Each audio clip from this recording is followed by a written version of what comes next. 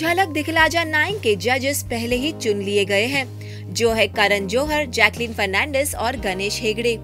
पर अब सूत्रों की माने तो इस शो में एक जज बदलने वाला है। जी हाँ ये जज और कोई नहीं, बल्कि डांस मास्टर गणेश हेगड़े हैं। सूत्रों के हिसाब से शो पर गणेश इश्यूज़ क्रिएट कर रहे थे, लेकिन कलर्स चैनल के हिसाब से गणेश को अपने वर्क कमिटमेंट्स की वजह से इस शो को छोड़कर जाना पड़ सकता है। हमें ये भी पता चला है कि शो पर कुछ एपिसोड्स के बाद गणेश को फराह खान रिप्लेस करेंगी।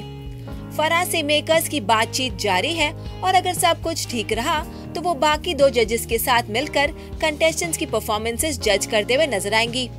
वेल फराह और करण की फ्रेंडशिप और केमिस्ट्री शो पर देखना इंटरेस्टिंग होगा। इस वीक के बॉटम थ्री कंटेस्टेंट्स भी रिवील हो गए हैं, जो जजेस को अपनी परफॉर्मेंसेस से खुश नहीं कर पाए। Heli Shah, Arjun Bijlani, Gaurav गीरा bottom three में आएँगे। ये तीनों ही व्यूवर्स के चहीते हैं। आपको क्या लगता है कि इन तीनों में से सबसे पहले कौन सा कंटेस्टेंट इस शो को गुड बाय कहेगा? कमेंट्स के ज़रिए हमें बताइए। टेलीविज़न के मोर अपडेट्स के लिए देखते रहिए हमारा चैनल